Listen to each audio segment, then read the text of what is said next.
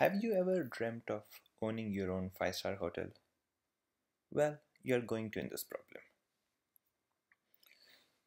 So, if you own a five star hotel and one day the San Jose Sharks team comes to you and asks if you could accommodate all of their guests for a week, what would you do? How would you go about determining if your hotel is big enough to accommodate all the guests for the San Jose Sharks? More formally, you're given a set of check in and check out times, such as guest 1 checks in on day 2 and checks out on day 5. And you're required to calculate the minimum number of rooms required. In this example, for example, you assign guest 1 to this room. Guest 2 comes and on day 1 to 3 there's clearly a conflict. So you assign room 2 to guest 3 for this guest, by the time he comes, guest 2 has already checked out, so you could assign the same room. And uh, clearly you just need two rooms to accommodate these three guests. So 2 is the minimum number of rooms you need to accommodate the three guests. So how would we go about developing an algorithm to determine the minimum number of rooms required?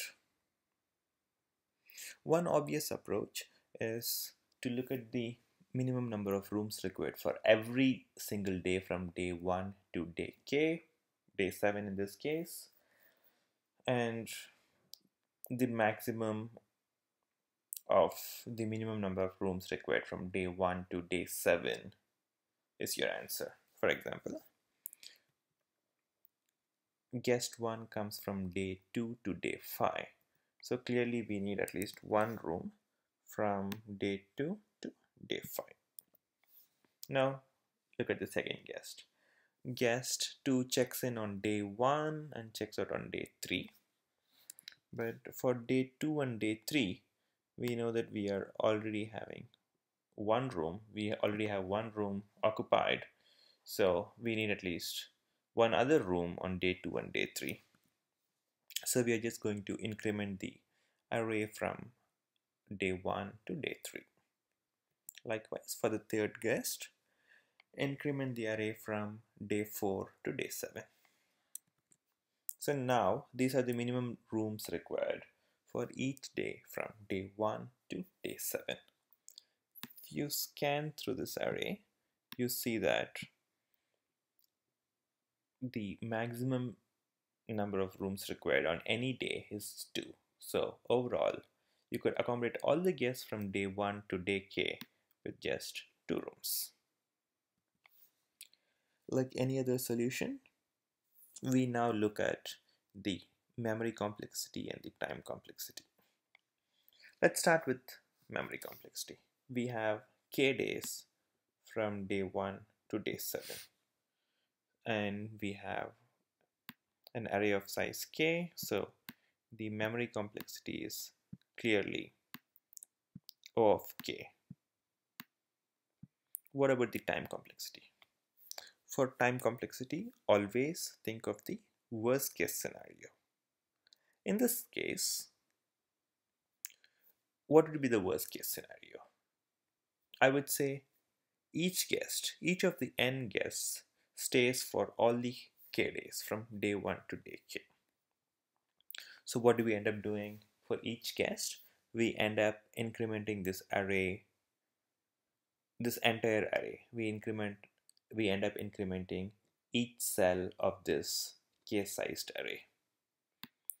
So the time complexity would be, we have n guests, so we multiplied by n, and for each guest, we increment each cell of the size k array, which would be O of k. So our total time complexity is O of n into k.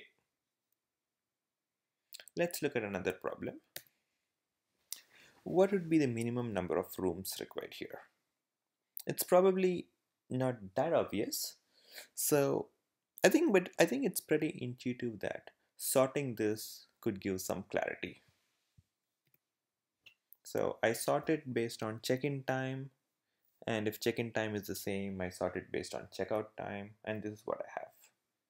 Now for a minute, try to think not just the minimum number of rooms required, but how did you actually get to the answer?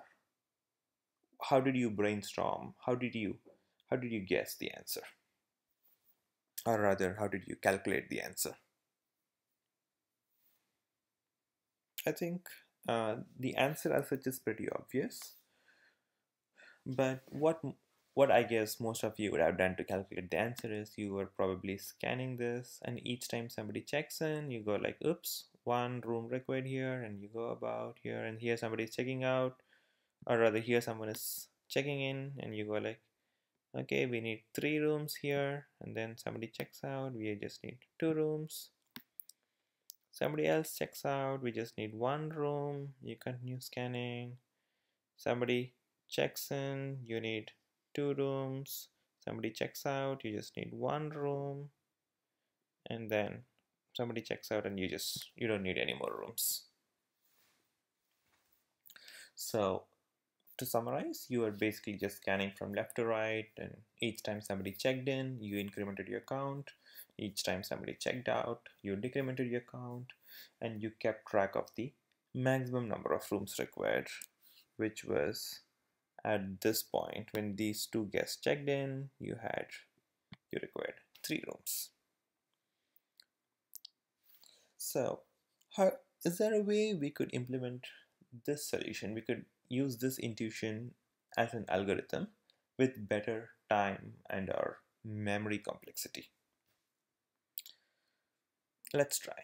Let's try to come up with a similar way of incrementing your account when somebody checks in and decrementing your account when somebody checks out without actually having an O of k sized array. So, I'm sorry. What I have here is the check-in times and the checkout times. The check-in times are all in blue circles. The checkout times are in red circles and they are all sorted. So let's start looking at, at this array from left to right.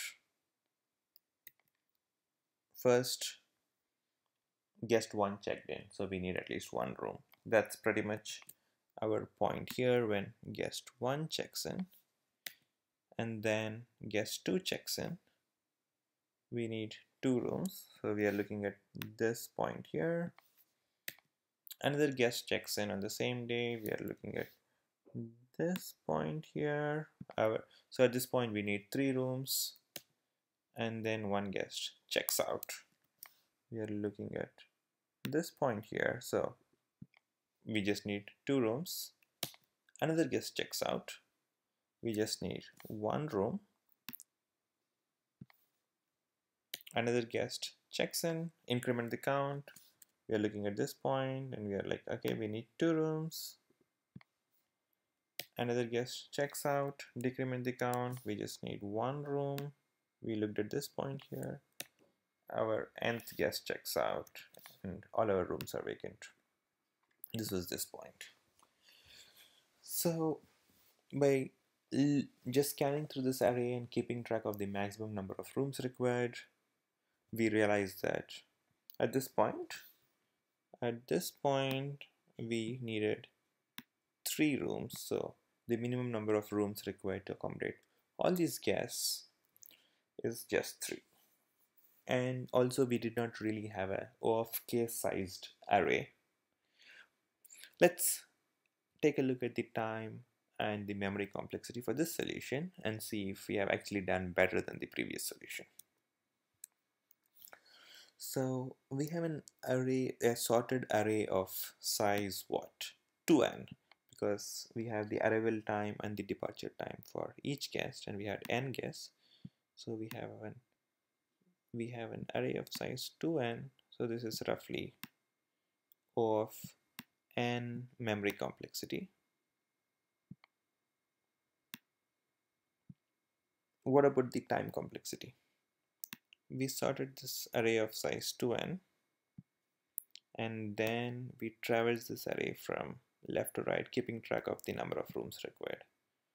So sorting an array of size 2n or rather n would be n log n and then we scan through this array keeping track of the number of rooms.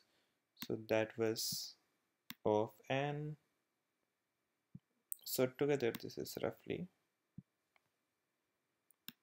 big O of n log n plus n is just n log n so this is roughly big O of n log n this is our overall time complexity so we essentially managed to eliminate the k factor. We don't really care about over how many days are these guests spread.